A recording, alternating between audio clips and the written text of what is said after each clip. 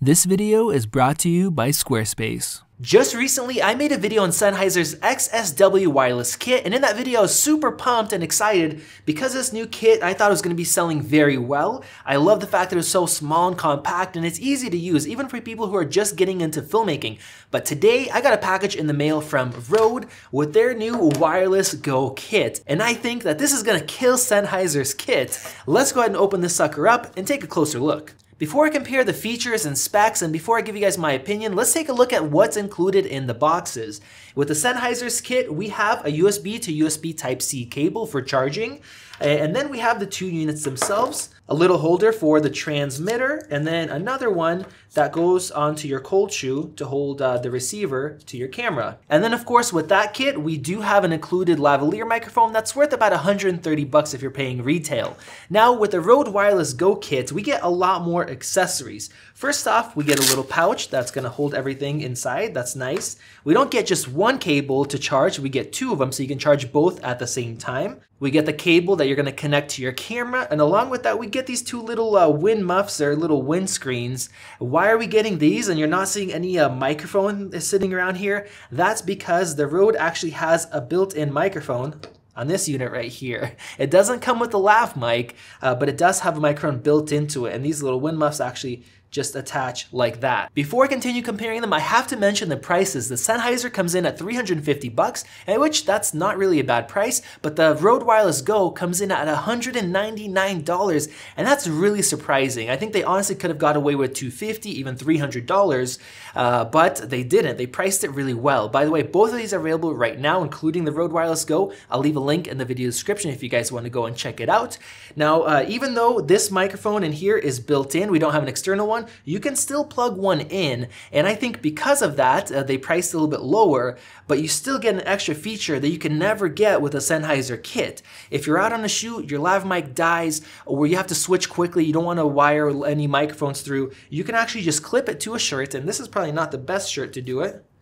We'll try it out like that. And yes, it's kind of noticeable, but I can already shoot just like this. And if somebody has a button-up shirt, that's even better because you can just clip it on like this and then you can get really great audio with a really, really quick setup time. That's great for running and gunning. Now, if you don't want to use it that way, you can basically use any microphone, and Rode is kind of suggesting their Smart Lav Plus, which comes in at roughly 70 bucks, and you have this little adapter if you want it to go into stereo. So you're looking at about an $85 price, so about $285 total compared to 350. So that's still an excellent value, and we will be doing a microphone comparison towards the end of this video. Let's compare the size. When I saw the XSW wireless, I really loved how small it was, but taking a look at this thing, it almost feels like a toy. I don't know if you can see how thin that is.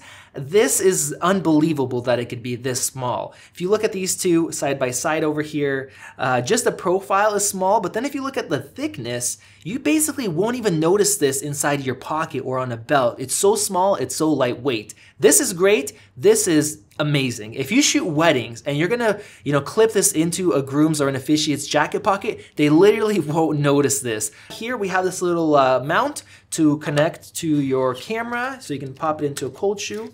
And that's not bad. This is a nice compact solution. But what Rode did is actually very clever. The little clip here on the back actually is a cold shoe mount. So you just pop it open and it slides right into the cold shoe. It actually has a good amount of friction. It's not gonna go anywhere. And look how small and compact this is. We have our controls over here. Uh, we have our little display over there. So yes, it does have a display and it is so small and it's also very lightweight. So if you have a gimbal, this thing is not gonna change the balance whatsoever. As you may have noticed, there are no battery door covers. That's because the batteries are built in. The Sennheiser will last up to five hours, whereas the Rode will last up to seven hours, even though it's smaller. And you can juice them up and actually run them off of portable power, the Sennheiser has no displays whatsoever. It has a little LED uh, flashing light with different colors and different pulses that it does, so you kind of have to decode it to try to see what your battery life is. Now on the Rode, we actually have a display, so you don't have to guess how much battery life you have when you're starting out or while you're shooting, and that is awesome.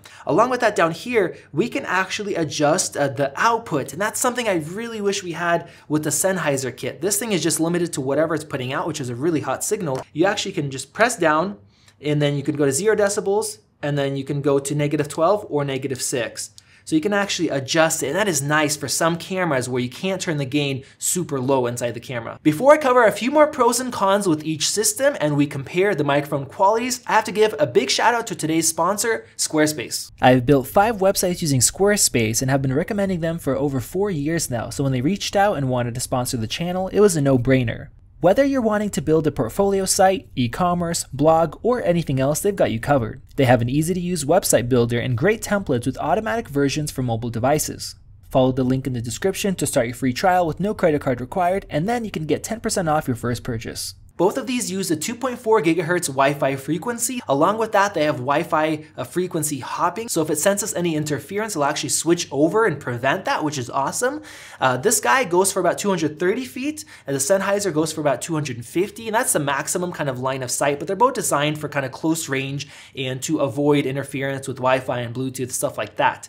You can actually have a bunch of these at the same time. The Sennheiser, you could do five kits, whereas their Wireless Go kit, you can actually do eight of these in one location, which is nice. And one thing that I really like about the Sennheisers is that they have these little locking connections. So once you plug in your mic, you screw it on, nobody's gonna be able to unplug this accidentally. That keeps you kind of safe. Uh, on the other hand, the Rodes are so tiny that I don't think they had room or they didn't want to add the extra weight, so you have a little bit more risk there. Both the Sennheisers, I love having the display, and even on the actual transmitter, it's so small I can kind of lose it, we have two LED lights, one showing uh, that you have good power, and then the other one showing that it's connected, whereas here, everything is with one little LED, which does get quite annoying. So now finally, let's compare the audio. I have my Sennheiser XS wireless kit connected to my trusted A6400 100. I had to set the preamp down to 1 because of how hot the signal is coming out of here. Let's test it out. This is an audio quality test with a Sennheiser XSW wireless. Mic check, mic check. This is an audio quality test. Oh, that is a hot signal. The XS wireless has a really hot signal, but this set to zero decibels, I'm at one and I'm like hitting the limits just talking normally. Now that would suck if we didn't have a little uh, decibel adjustment. So let me go to right here. So we're at negative six, perfect. Now we look like we're matching up to this guy. And then we can also go even lower, negative 12. Um, that's awesome. So if you have a camera like the Blackmagic where you really need to crank up the gain, this will actually provide a hotter signal than this guy. So let's go ahead and test out this guy right here, and then I'll also plug in the Rode SmartLav, and I'll connect all three side by side so you guys can tell me the differences. This is an audio quality test with a Sennheiser XSW wireless. This is a microphone quality test of the Rode Wireless Go. This is a microphone quality test of the Rode Wireless Go with the SmartLav. So go ahead and let me know down in the comment section below which one you think sounds best. Keep in mind that you can use any lav mic with uh, this transmitter right here. So this setup is about $80. If you're trying to stay on a budget, I'll actually link in the video description a $25 lav mic that sounds really, really good for the money. I keep some on hand kind of as backups. But if you were to go and grab this lav mic, which is about 130 bucks, plug it in, it should sound about about the same. All right, so what are my personal thoughts and opinions? Now, before this product was announced, I was quite happy with the Sennheisers other than not being able to adjust uh, the output gain. But now that the Rode Wireless Go is out, I really think they stole Sennheiser's thunder and I kind of regret buying this kit right here. Uh, not only do we have a smaller size, better battery life, a display on the receiver so you can see what's going on, you can also adjust the output and if you have it at zero decibels, the output is louder, which is great for some cameras. It doesn't come with a wired lav mic, but I'm actually glad about that because they were able to price it lower at $200. That means you can choose whatever mic you have or use the one that you already have. And because of that, it also has a built-in mic, and that just gives you so much convenience to be able to clip it on if you're running gun shooting, you don't have enough time to wire a microphone.